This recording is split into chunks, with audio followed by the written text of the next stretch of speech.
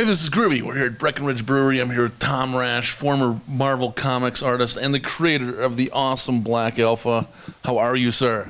Good. How are you doing, Doug? I'm freaking stoked and happy. and Should I call you Groovey? Should I call you by your only my grandma calls me Doug. So Oh, all right, Groovey. Here we go.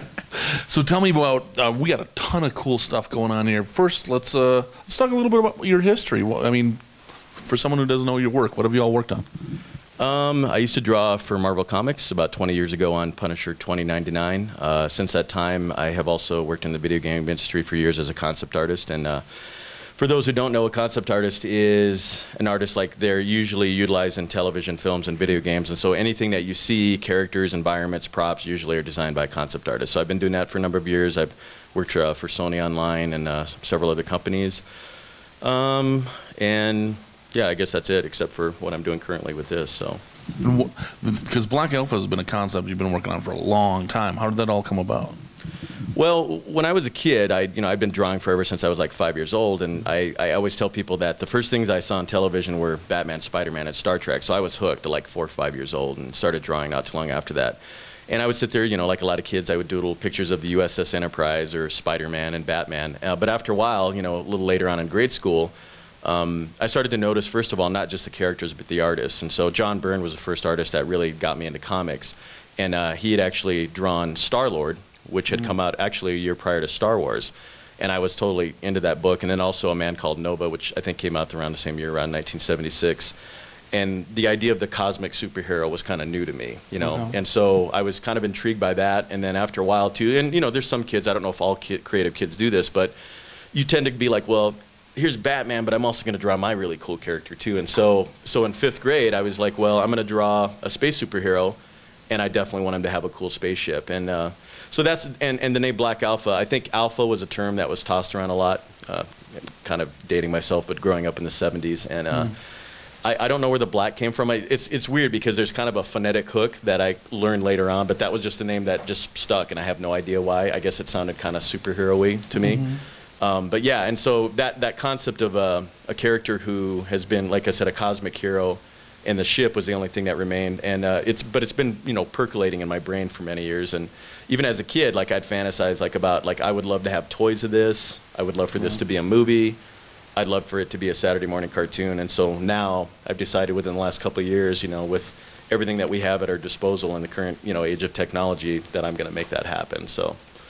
Um, and then I guess if you want, I can kind of tell you what the premise is. You know. Yeah, the premise and you know the general vibe, so people know like you know what the what his attitude's like and all that kind of good stuff. Well, the the quick pitch I tell people is, what if you took the Batman story, you sprinkled in some Iron Man tech, and then you dropped it off in the middle of a Star Wars like universe. Uh, the more in-depth thing is that there's these 12 star systems of Caradia, which are called the provinces, and each star system has a group of these guardsmen, and each guardsman has a faction. Their job is they protect, you know, the people of the realm, so to speak. Um, they they tend to find applicants, or you can apply to this academy. They want to find people who have, a, you know, a code of honor, a person of strong morals and stuff. Because the way that it works is you get this thing. This, you know, he has a cell suit, and it's an augmenting suit. So anything that you do, you know, it gives you like if you run, you run faster. It increases your speed. It kind of gives you the basic equivalent of superpowers in a suit. Okay. Um, and the idea is that when you get this suit and you become a cadet, you once you graduate, you get this suit and it's bonded to like you know your DNA, brainwave patterns, you know, just pretty much your persona. That suit only operates for that pilot, is what I call it, you know. Um, until that pilot's deceased, you know, then then it can generally work for someone else. But there's been a lot of political upheaval in these star systems, and so after a while, there's been this mysterious threat that's actually killing off these factions of guardsmen they haven't been able to, I guess, replenish their ranks, so to speak. So the outlying systems have all kind of, they don't have the guardsmen protecting them anymore. So they've all started to decay into like corruption and war and all that kind of stuff.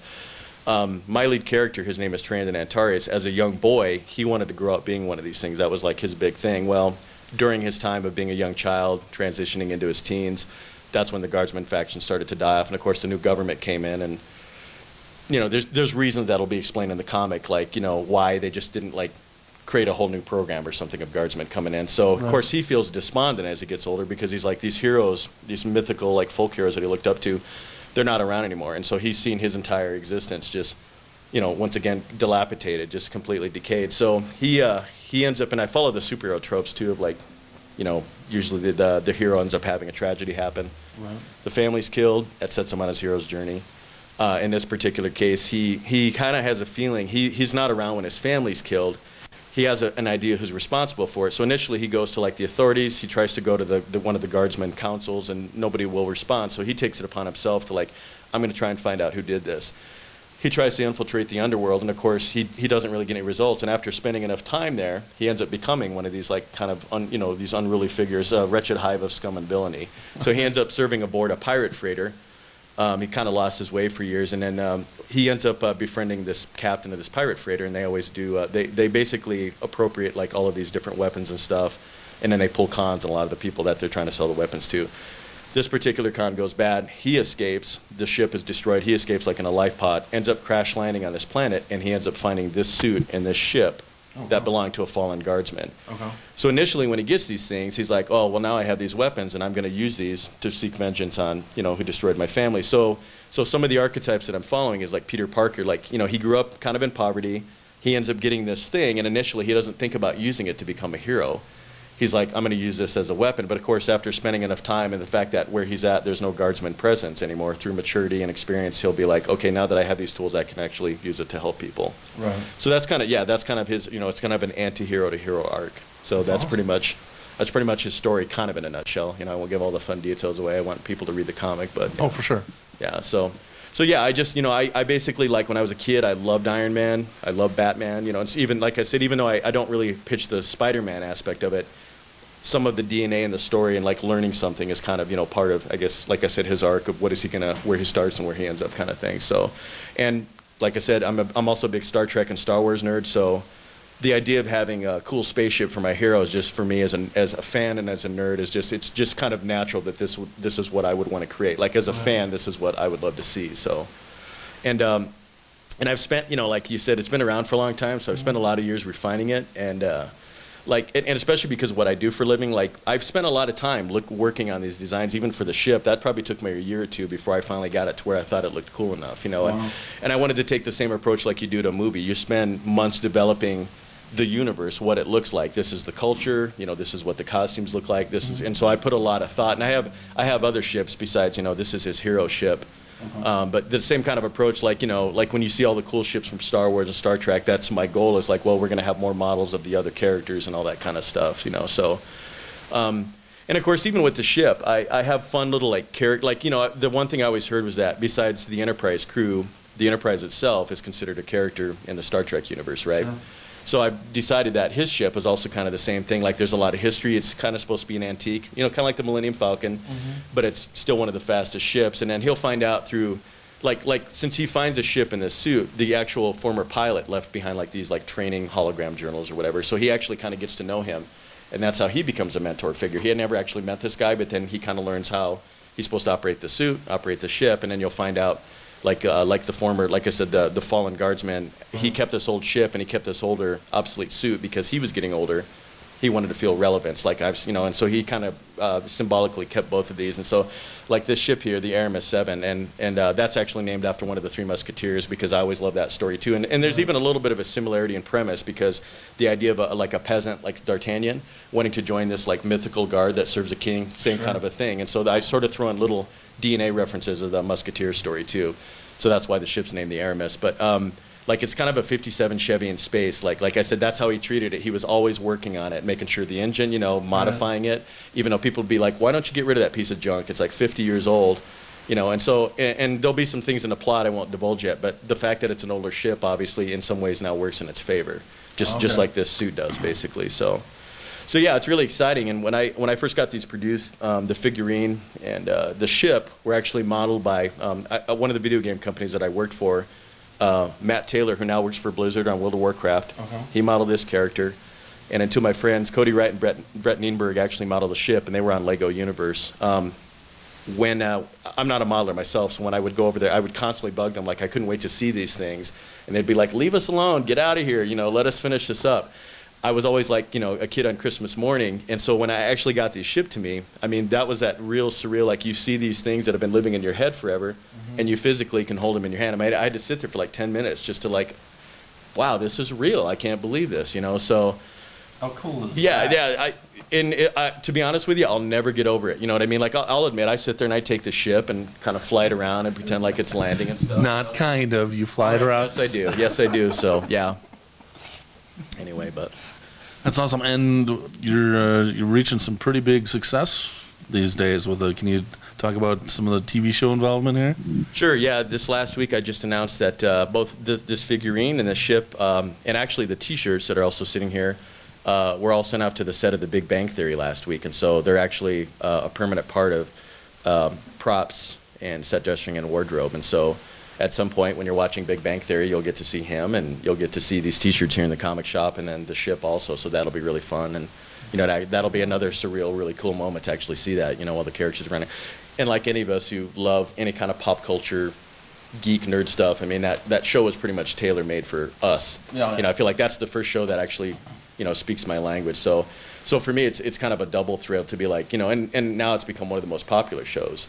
is, So yeah. so the the idea of exposure with the amount of the audience, you know, numbers that it carries is going to be pretty significant for me. So I'm going to really try and utilize um, as much as I can, you know, just now that it's actually connected to the show. And actually, when I made the announcement, which I do a lot, I, I kind of promote everything uh, like a grass grassroots way on Facebook. Um, you know, people are already, I got tons of requests for the T-shirts as soon as I announced, you know. So, so now I'm going to have to figure out how to keep up with the demand and you know run my store, which uh, it should be up soon on my website. But yeah, So the first time you actually see it on the Big Bang, um, are you gonna do the happy dance?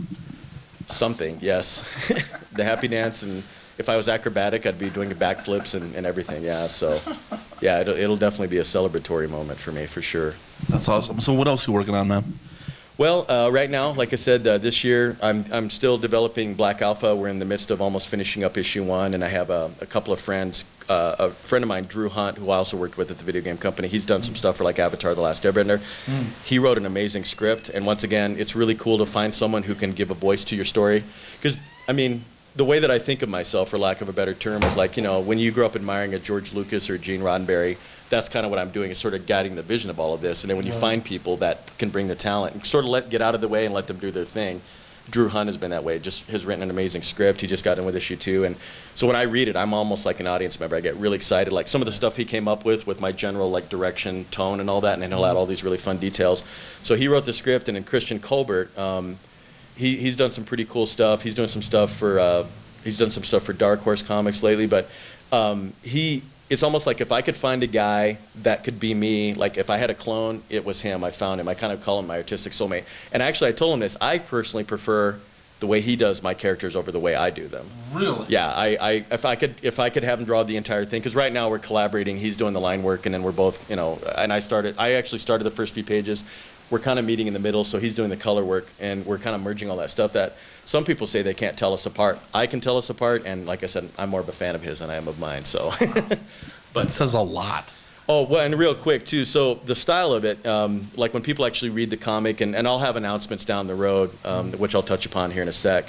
Um, I picked this animated style partially because, you know, comics are a lot of work. They really are. I mean, and, and especially like, like a lot of people, when you're an independent creator, you tend to have to do this stuff on the side. You know, it's, it's a labor of love, it's a passion. Um, and so I figured, well, if I do the animated style, it should go by a little quicker.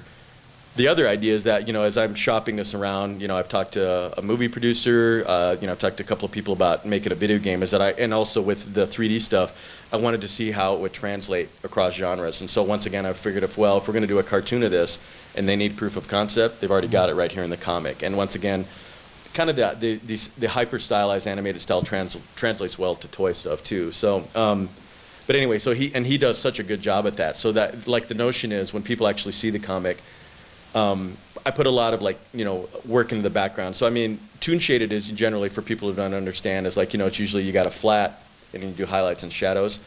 That's how you see a cartoon. And then you know the more in-depth comics they add a lot more you know just detail in the rendering and the shading and stuff. Right. We're we're kind of viewing it as like meeting in the middle, so that the toon shaded style will be like as if it was like a scene out of one fi- like an animated film. So once again, specifically, that's kind of the aesthetic uh, behind this and stuff. So, but anyway, yeah, getting back on track, we're um, we're almost done with issue one, and I've had a lot of people. it- It's been really fun. Like people have responded very well to this on uh, on Facebook. I've already got tons of like on the Black Alpha Facebook page, and they, there's no comic out yet. So. Right. So I, I spend a lot of time kind of getting them involved, showing them behind the scenes. You know, any anything as it progresses, I try and share. So um, so when we get that done, and, and I'll tie this actually into Denver Comic Con, is that um, we have a really big announcement that we're going to share at Denver Comic Con. Um, so that's all I can really say about it at the moment, but it's going to be pretty huge, and I'm really excited to share that. And I actually I have a really awesome trailer that's going to accompany that. Um, but it, it will be big news, and it's kind of part of the way of the future and stuff. So so there'll be kind of this interesting combination, like when I announce what I can announce with one format that we're going to kind of get this out there to an audience. I will have a limited print run of also Black Alpha issues one, you know, that I will basically be able to sell once Denver gets here and stuff. And so Right. that's the goal. And the idea is I won't have a lot of them because I, I kind of want people to sort of view it in all these different, you know, if you want to get on, you know, any of your portable device and you want to see it on the internet too, you know, I, I kind of want to take both approaches. But the idea is at least when people, when I talk to people at the Denver Comic Con and then they, they want to take an issue away with them, you know, at least hopefully they'll help spread the word. I guess that's part of the notion behind it too. Like if they enjoy it, they'll tell their friends to go check it out on the website or any of those other things. So, but the, the one thing I have learned is that, yeah, when you go to cons, um, you know, because there's kind of been this like weird shift where people are, you know, the whole digital getting out thing, you know, like like Marvel just had that thing where they released. Did you hear about? They released like uh, 700 titles or something, like at Oh, South by. South, and then the server crashed for Comixology. You know, so everyone's still trying to explore like how do we how do we monetize the digital space. Right. You know, so and I'm kind of moving that direction too. But I've, I've learned that people like even myself, you know, people like something they can they can sit there and pick and hold up and Yep. and um, you know and so and by the way, this isn't issue one. This is a preview edition. Um, I've actually sold quite a few of these at the cons and stuff. But a lot of times people uh, will come back and they'll read a little bit and they're they're intrigued, so they come back and ask me questions the next day. But more than anything, yeah, it's been it's been really cool. Like I've gotten a great response, and especially from the kids. You know, of course, they see all this stuff, they want to run over, they want to know when they can buy it. You know, and that's another thing I'm working toward is you know is to find basically a licensing deal so that I can mass produce this stuff. Because right now, it's me, like in the just a small team of people I mentioned that are kind of all collaborating on this project. But uh, but yeah, I just the way things are going with this opportunity, I'll announce at Denver Comic Con the stuff with the Big Bang Theory. Uh, actually talking to you know movie producer, video game stuff. I feel like it will get to that level eventually. Right. And if I have one legacy that I want to leave behind as a fan is that you know I, I wanted to basically give an audience my Batman or my Star Wars. That's you know, so that's kind of my dream, and so I feel like I'm finally living my dream. You know, all these years so later cool. and stuff like that. So yeah. That is so cool. So, uh, like personally now, you know, what do you geek out on besides what you're working on, and what are you all into? Um, well, art would be probably you know one of the number ones. Uh, I, and and film, I love movies. Uh, one of my goals too when I was a kid. Well, I, I joke around that I had like four or five goals uh, when I was a young boy. I wanted to be a starship captain first of all. Um, eventually, I wanted to write and direct films. I wanted to be a rock star. I wanted to be a hairdresser and do hair, and I wanted to do comic books. And so I, I, I joke around and say which one did I make come true. But I, I've kind of done the rock star thing. You know, I've been in a band, and uh, and then also, like I said, done comics for a while. And I feel like in a sort of a way, Black Alpha for me is like a culmination of all those things coming together because I do see it as maybe a potential feature, you know, a film franchise. Sure. And and so I feel like yeah, the kid in me, uh, except for the Starship Captain part, I'm still holding out for that one. But everything else I feel like is coming together, and so um, so I'm still a huge fan of films and comics. Like everything I've loved as a kid, it's it's like it's never diminished, you know. So that's why I think like the age that we live in, where other people are embracing these things. And and I've never been one of those like you know how like people will be into indie bands, mm-hmm. that indie band blows up and then they're like oh I don't like him anymore because everyone else. I, I'm just like you know the more the merrier because it's like you know people are discovering any of us who've appreciated these things for years. They're like. Oh, that is cool, and I'm like, that's what I've been trying to tell everyone. Welcome aboard, kind of thing, you know. And that's uh-huh. kind of my attitude about it. So, but I would have to say, uh, you know, anything that I do, i- if I enjoy anything out of life, it still has to always do with comics, movies, uh, toys, you know, and that's pretty much what and rocks my world. I mean, like I said in a TV show like The Big Bang Theory, um, actually, I made a joke on Facebook recently because Sheldon was saying something to, to Leonard about, you know, he was going to relieve him of command because Starfleet Order 104 section, he, he actually incorrectly said it. Section A said he would, you know, he was compromised, so would have to relieve him. And I knew that reference, and I got so excited I had to talk about it on Facebook. So that's where I'm like, once again, this show is made for me and other people. They they get it all right, all you know, all the Starfleet uh, regulations and all that stuff. So I just feel like, yeah, we live we live in such an amazing age that you can go see the Avengers, you know, co- uh, comic book movies made into film, like all these things that you, as a young child, when the technology wasn't there, you're able to go, what would an Iron Man movie be like, or you know, these things, and now now we can see those things. And they're finally doing them right too. I mean, you know, Avengers was freaking amazing. Oh yeah, I mean there were so many times like like there were you know I mean I I literally got chills. It was like when you would see certain parts of the movie with Thor and the Hulk. I mean those things you're like what would that be like you know when you're Yeah. like you know 10, 10 11 years old and so that's been really exciting too. And, and I guess that's why, like, you know, when I know there's some fans out there that kind of grumble about the quality of things or they get overly caught up in the technicality. My thing is like, sure, you want to, you know, you want to maintain quality, but I'm still just celebrating like we have such an amazing like age that you you can actually see all these movies and, and I, I think that's why comic book films are so popular because it's like you know the technology of Hollywood is like we need things. I think that's why even Lord of the Rings and Harry Potter, all that stuff became so popular and prevalent because it's like you know like Hollywood needs big ideas to support this big technology now, Right. which is which is also very exciting and stuff. So, but uh, yeah, and, and I'm yeah, I'm really excited about the Star Trek movie coming up this summer. Everything else that's going with it, you know. And, and the funny thing is, you know, I didn't think about this, but um, I watched uh, one of the old Spider-Man cartoons when I was a kid, and I never occurred to I would sit there and I go, why is he only fighting a guy with nunchucks? I, I don't understand that. You know what I mean? And then even then they'd show him struggling against this regular dude, and, and I'm just like, that's not Spider-Man. But it, you know, obviously later on I'm like, well, because they didn't have the technology to do any of the supervillains, you know, basically. So, so yeah, I guess like I said, there's never been a better time to be a super nerd, and so I guess you know I, I carry that proud, or I, I carry that flag proudly. I guess what I'm trying to say. So. Congratulations on the super nerdness. so what do you got? Uh, what do you got planned for Denver Comic Con? What kind of booth you got? Um, well, basically, uh, well, once again, with the announcement I'm going to make, I have a team that's coming out, and they're gonna, we're gonna, like I said, we're gonna do this big panel, and we're gonna talk about the announcement that has to do with Black Alpha, and we're just gonna kind of talk about the industry, and, and once again, sort of touch upon what I've tried to do, which is to launch your own franchise, like kind of in the, in the sort of a garage band sense, uh, and then basically, I'm just gonna be there uh, selling issue, you know, the limited editions of issue one, and, and of course, I love nerding out. You know, people come up to me and and ask all these questions. And uh, some of my friends have even teased me. about. I've already got my own small group of Trekkies growing, where they, they come, they're, they're into it. They want to ask all these questions, and it's so much fun to kind of nerd out with them. Because like, Oh, because like I tell people, you know, I, I was that kid that could tell you, you know, the Enterprise crew was 430. You know, the Enterprise had 22 decks. I, I knew all of that stuff, and so as a creator now, as an adult creator, that all came in handy because I'm like, Sure. I had to sit there and make sure that all the rules of this universe make sense from a cultural level. You know, because if you want the audience to be invested in your universe and to believe in it, you got to make sure all those corners are covered, right? Yep. So that's why I'm like, you know, I can tell you this ship here has two decks. It's roughly about 150 feet in length, and, you know, and so people want to, or how do the cell suits work, the, the power suits that these guardsmen use, and I've got already all that notes figured out. And so when they come and ask me questions, I'm just like, I'm, I'm, I'm ready to do it, and I totally nerd out with them. But probably one of the biggest, the biggest things that I've had is the, uh, there's been a couple of really cool instances where uh, a young, a young kid will walk up to me and he'll ask questions, and um, this actually happened last year at the Denver Comic Fest, and then eventually Denver Comic Con he was intrigued. He's like, "Well, what is this?" So I talked to him, and he was very interested. And so after five or ten minutes, I'm like, "Here you go, buddy." I give him a poster, and I'm like, "I, I, I just want to say thanks for being interested. And you know, you've never heard of this guy, and you're taking an interest." So he came back about five minutes later and brought his dad, and he's like, "Yeah, he, he wanted me to come over here and meet you and stuff."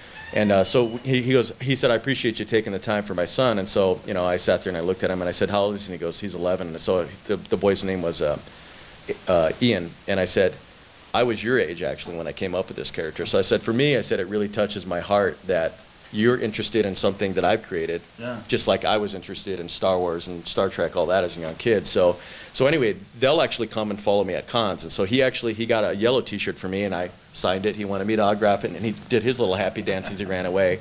So I think I think for me, you know, when you think about trying to like what you have for your goals in your life or whatever legacy that you want to leave behind, this is mine. And so I, I'm very much moved by, especially kids, responding because that. Oh, that's another question too. Some people have asked like the audience range of this because I've talked to a few families, and uh, it's an all audiences title. Um, doesn't mean it's just kiddie fair. I mean, it's not Power Rangers, you know. Right. But it's once again, it's like like uh, I want to sort of show. I love the fact that I could watch Star Trek and Star Wars and not be embarrassed that there was inappropriate stuff. I could share that with my mom and dad. And and you know, like when you talk about even like uh, with the what is it the comic the comic classroom where they're trying to you know Comic focus on yeah. yeah for the kids. You know, like that's one of the struggles that's been going on in the industry for well almost 20 years now. Is like you know the the industry the the readership has dwindled, and so the you know the the comic book industry in general is always trying to figure out ways how do we get kids into it? And so there's sort of been this stigma like, oh, if it's an all ages title, it's too kiddie, and, you know, people want to shy away from it. Well, I'm trying to sort of bring that back. Like, like I could go pick up a comic book, my mom or dad could open it, and they would be fine with the most of the material that was in there. Right. I'm sort of trying to take the same approach where I'm like, you know, I want to create like people, you know, my age, a little bit older, a little bit younger, but also bring the kids back in. And, and once again, give, you know, give them a new kind of hero that hopefully they'll uh, relate to and, you know, I guess look up to basically at some point. So, Right on. That's badass, man. Well, I appreciate your time today, dude. Thank you so much. I almost said, I almost said the other name again, but I'm gonna say thanks, Groovey. you can say whatever you want. You can call me whatever you want. We'll do happy dances. Cool. I'm ready to- This is Groovey We're at Breckenridge Brewery. This is Tom Rasch, Black Alpha, whole bunch of other cool stuff going on. And this big announcement is huge. And I'm just going to make him sweat a little bit that I'll say it on camera, but I'm not going to. Have a nice day. Run on!